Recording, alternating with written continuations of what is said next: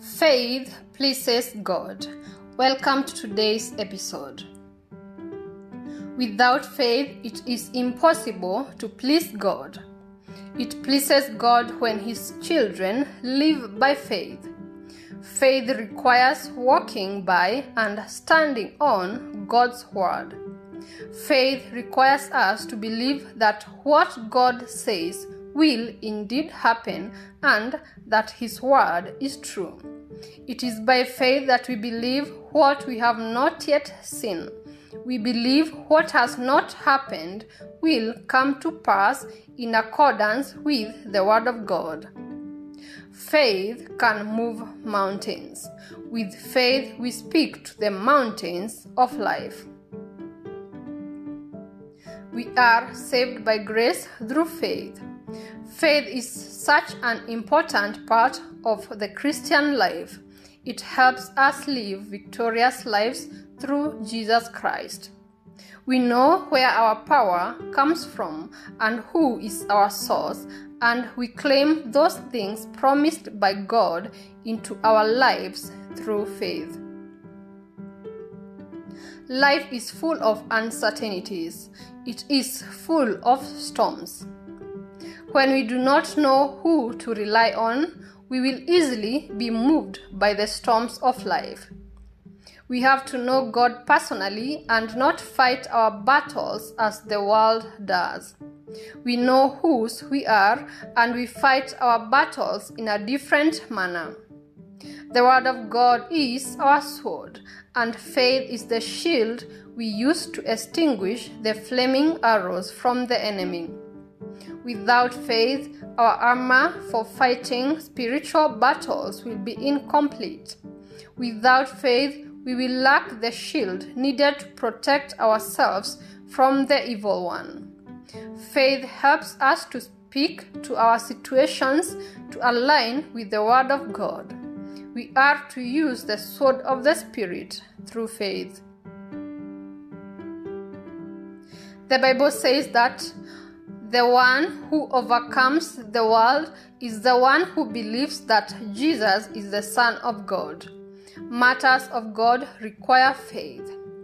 We have not yet seen God, yet we believe that He does indeed exist and He is with us every step of the way. Salvation is by grace through faith. We have to believe Jesus died for us and took our sins away through his death and resurrection.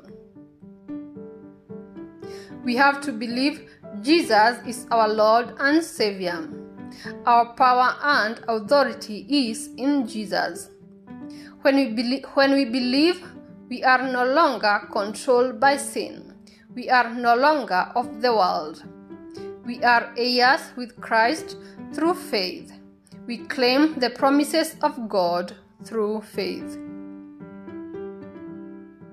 Galatians 3, verse 22 says, But Scripture has locked up everything under the control of sin, so that what was promised, being given through faith in Jesus Christ, might be given to those who believe.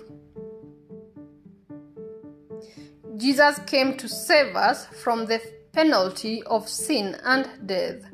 He, being God, humbled himself and became man, so that through him we might be saved. Jesus is a manifestation to us how much God loves us. Hebrews 1 verse 3 says, The Son is the radiance of God's glory and the exact representation of His being, sustaining all things by His powerful words. After he had provided purification for sins, he sat down at the right hand of the Majesty in heaven. Jesus now sits at the right hand of God, interceding for us, and he will come back again to take us home on the day of resurrection. When we receive Him and believe in His name, He gives us the right to become children of God. God is our Father, and He tells us to ask, and it will be given unto us. We have to believe when we ask and not doubt. We go to God in prayer and make our requests known to Him. James 1 verse 6 says, But when you ask, you must believe and not doubt, because the one who doubts is like a wave in the sea, blown and tossed by the wind.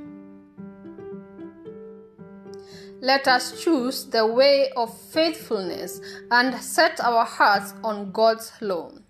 If we declare with our mouths that Jesus is Lord and believe in our hearts that God raised him from the dead, we will be saved.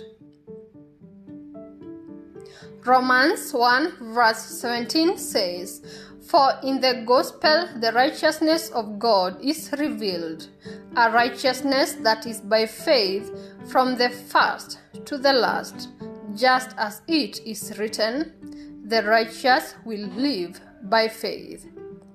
Be blessed.